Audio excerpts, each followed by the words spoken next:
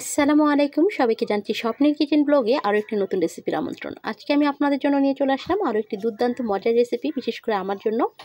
আর আমার বিশ্বাস আজকে যে রেসিপিটা শেয়ার করছি, সেটা আপনাদের কাছেও খুবই ভালো লাগবে। আজকে কোনো মাছ মাংস রেসিপি নিয়ে আসিনি, চলে এলাম একটি মজাদার শুটকি তরকারি রেসিপি আজকে আমি চ্যাপা শুটকি দিয়ে সিম ভাজি কীভাবে করবেন, সেই এরকম একটি রেসিপি নিয়ে আপনাদের মাঝে হাজির হয়ে গেলাম।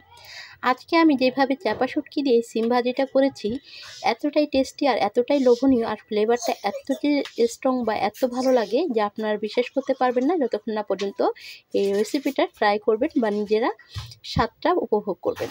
আসলে আমি সেজন্য বলব, অবশ্যই আজকে রেসিপিটা দেখার পর আপনারাও বাসায় ট্রাই করবেন, কারণ এইসব উপকরণ কিন্তু আমাদের ঘরে সবসময় থাকে।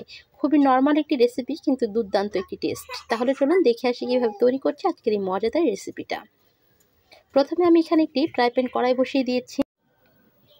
তারপর এখানে দিয়ে দিচ্ছি আমি দু থেকে আড়াই টেবিল চামচের মতো সাদা তেল। জাস্ট আমি আড়াই টেবিল তেল দিয়ে দিলাম। তেলটা এখন গরম হয়ে আসা পর্যন্ত অপেক্ষা করব। তেলটা অলরেডি গরম হয়ে গেছে, আর এখানে একটি দিয়ে দিচ্ছি একটি পেঁয়াজ কুচি। পেঁয়াজ বেশি পরিমাণ দেওয়ার কোনো প্রয়োজন নেই, আপনারা চাইলে বাড়িয়ে দিতে পারেন, কোনো সমস্যা নেই। দিয়ে দিচ্ছি কিছুটা পরিমাণ কাঁচামরিচ কাঁচামরিচটাও আপনারা আপনাদের পরিমাণ মতো অ্যাড করবেন। দিচ্ছি তিন কোয়া রসুন, আমি পাটা একটু ছেঁচে নিয়েছি। অবশ্যই ছেঁচে নেবেন, তাহলে কিন্তু ফ্লেভারটা খুব ভালো আসে। আর এখন আমি পেঁয়াজ আর রসুন আর মরিচগুলো সুন্দরভাবে একটু ভেজে নেব। সুন্দরভাবে যখন একটু হালকা ব্রাউন কালার হতে শুরু করবে, সে পর্যায়ে আমি সামান্য পানি অ্যাড করব। অল্প একটু পানি অ্যাড করলে হবে। তারপর ভালো করে মিক্স করে দিচ্ছি। তারপর এখানে অ্যাড করে দিচ্ছি হাফ চা চামচ শুকনো মরিচের গুঁড়া। এখানে ঝালের পরিমাণটাও কিন্তু আপনারা আপনাদের পরিমাণ মতো অ্যাড করবেন। শুকনো মরিচের গুঁড়োটাও অবশ্যই দেওয়ার চেষ্টা করবেন। শুধু কাঁচা মরিচ দিলে আসলে এতটা বেশি ভালো লাগবে না। দিয়ে দিচ্ছি এখানে এক চা চামচের মতো হলুদের গুঁড়া, কারণ আমি যে পরিমাণ তরকারিটুকু রান্না করব, তার জন্য এক চামচ লাগবে। আর এখানে আপনারা কিন্তু আপনাদের তরকারির পরিমাণ বুঝে এখানে অ্যাড করবেন। তারপর ভালোভাবে মশলাটা মিক্স করে আমি ঢাকনা দিয়ে ঢেকে কিছুটা পরিমাণ কষিয়ে নিব। ঢাকনা দিয়ে ঢেকে দিচ্ছি। আর এখানে যখন অর্ধেক কষানো হয়ে যাবে মানে সম্পূর্ণ কষানো হয়নি, সে পর্যায়ে আমি ঢাকনাটা খুলে একটু নেড়ে চেড়ে এখানে অ্যাড করে দিব আমি যেই শুটকি দিয়ে রান্না করব চাপা শুটকি, বা অনেকে পুটি শুটকি বললেও চিনবেন। আমি সেই শুটকিটা এখানে অ্যাড করে দিচ্ছি। আর এই শুটকিগুলো কিন্তু অনেক স্ট্রং ফ্লেভার সেজন্য কিন্তু আসলে দুই তিনটা দিলেই যথেষ্ট, এর থেকে বেশি প্রয়োজন লাগবে না। তাই আমি সুন্দর করে শুটকিটা দিয়ে ভালোভাবে একটু নেড়ে চেড়ে বসিয়ে দিলাম। তারপর আমি আবারও ঢাকনা দিয়ে এটাকে আরও কিছুক্ষণ কষিয়ে নিব। ঢাকনা দিয়ে ঢেকে দিচ্ছি। আমার মশলাটা কিন্তু এবার পারফেক্টলি কষানো হয়ে গেছে, সম্পূর্ণ পানিটা শুকিয়ে গেছে। আর এই পর্যায়ে দেখতেই পাচ্ছেন যে আমার শুটকিগুলো কিন্তু এবার গলে যাবে। নাড়া দেওয়ার সাথে সাথে কিন্তু শুটকিগুলো গলে যায়।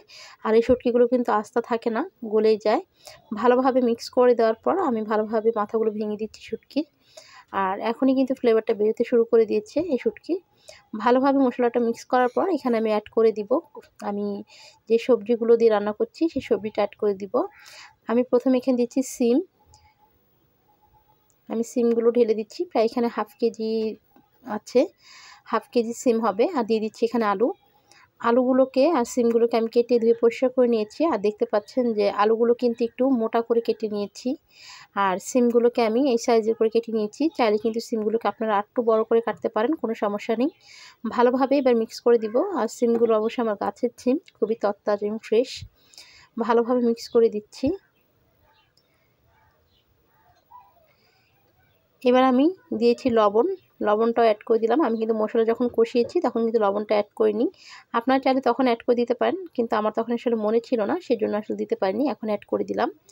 দেওয়ার পর ভালোভাবে মিক্স করে আমি এখানে অ্যাড তারপর এখানে অ্যাড করে দিচ্ছি আমি দুই টেবিল চামচের মতো একটু পানি অ্যাড করে দিলাম। আসলে বেশি পানি অ্যাড করা যাবে না, সেক্ষেত্রে কিন্তু সবজিটা আবার টেস্টটা নষ্ট হয়ে যাবে বা কালারটা নষ্ট হয়ে যাবে, সেজন্য খুবই কম পানি দিয়ে কিন্তু এই ভাজিটা করতে হবে, তাহলে কিন্তু টেস্টটা ভালো পাবে। এখন আমি ভালোভাবে মিক্স করে দিয়ে ঢাকনা দিয়ে ঢেকে দিচ্ছি, আর চুলার ফ্লেমটা অবশ্যই লো আর মিডিয়ামের মাঝামাঝি রাখবেন। এরপর যে দেখতে পাচ্ছেন মাছ দিয়ে আমি আরও একবার নেড়ে চেড়ে দিব যেন নিচে পুড়ে না যায়, সেজন্য অবশ্যই খেয়াল রাখতে হবে। আর এই সবজিটা রান্না করার সময় একটু সময় নিয়ে করতে হয়। ভালোভাবে নেড়েচেড়ে মিক্স করে দিচ্ছি। আর এখন আমি ঢাকনা দিয়ে ঢেকে তারপর এভাবেই রান্না করব।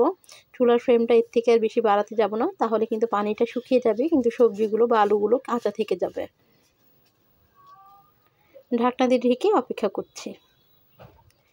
এ সময় দেখতে পাচ্ছেন আমার রান্নাটা কিন্তু প্রায়, পানিটা প্রায় শুকিয়ে এসেছে। আর এখন আমি ঢাকনাটা খুলে ভালোভাবে নিয়েচে দিচ্ছি আবারও। আর সবজি থেকে যে পানিটা বেরিয়ে এসেছিল, সেই পানিটাও কিন্তু এখন পুরোপুরি শুকায়নি, কিন্তু একটু পানি রয়ে গেছে। এখন কিন্তু এই পর্যায়ে আমাকে চূড়া জালটা একদম লো আছে দিয়ে দিতে হবে। আর লো আছে দিয়ে তবে কিন্তু রান্নাটা করতে হবে। এতক্ষণ আমরা মিডিয়াম আর লোয়ের মাঝামাঝি রান্না করেছিলাম, এখন সম্পূর্ণ লো দিয়ে আমি রান্নাটা কমপ্লিট করব। ঢাকনা দিয়ে ঢেকে অপেক্ষা করছি সম্পূর্ণ রান্নাটা হওয়া কমপ্লিট পর্যন্ত। এই পর্যায়ে দেখতে পাচ্ছেন আমার রান্নাটা কিন্তু কমপ্লিট হয়ে গেছে, কোনো রকম পানি নেই। আর আমার আলুগুলো, সিমগুলো কিন্তু প্রপারলি সেদ্ধ হয়ে গেছে। আপনাদেরকে একটা আলু ভেঙেও দেখাবো যে সেদ্ধ হয়েছে কিনা, সেটাও আপনারা দেখে নিতে পারবেন। ভালোভাবে মিক্স করে নিচ্ছে। আর দেখুন, একটি আলু আমি ভেঙে দেখাচ্ছি। আসলে এটা সিলিকনের তো, সেজন্য একটু সমস্যা হয়। কিন্তু দেখুন আলু কিন্তু সেদ্ধ হয়ে গেছে।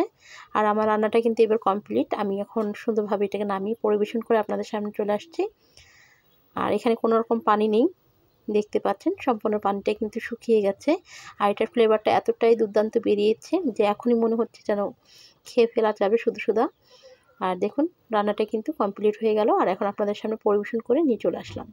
একটি টমেটো দিয়ে একটি হাঁস তৈরি করে তারপর পরিবেশন করলাম। আসলে দেখা সৌন্দর্যের জন্য আর এটা দেখতে কিন্তু ভাজিটা এমনিতেই দেখতে অনেক সুন্দর লাগছে খেতেও কিন্তু দারুণ। এই রেসিপিটা আমার সবসময় খুবই ফেভারিট এবং পছন্দের একটি রেসিপি আমি এটা সবসময় তৈরি করার চেষ্টা করি সিজন আসলে। আর আপনারা অবশ্যই এটা বাসায় ট্রাই করবেন, কারণ এই জিনিসগুলো কিন্তু সবারই ঘরে থাকে, তাই রান্না করতে কোনো সমস্যা হবে না। এভাবে তৈরি করে একবার ট্রাই করবেন, আমার বিশেষ আমার মতো আপনারা এটা প্রেমে করে যাবেন আর খুবই পছন্দ হবে। ভালো লেগে থাকলে অবশ্যই আমার চ্যানেলটাকে সাবস্ক্রাইব করে আমার চ্যানেলের পাশে থাকবেন, পাশে থাকা বেল আইকনটা বাজিয়ে দিয়ে নোটিফিকেশনটা অন করে দেবেন। এরকম নতুন নতুন ভিডিও পেতে অবশ্যই চ্যানেলের পাশে থাকতে হবে। আর যারা অলরেডি কাজটা করে নিয়েছেন, তাদেরকে অসংখ্য অসংখ্য ধন্যবাদ। দেখা হবে এরকম আরও নতুন নতুন রেসিপি নিয়ে। পর্যন্ত ভালো থাকবেন, সুস্থ থাকবেন। আল্লাহ হাফেজ।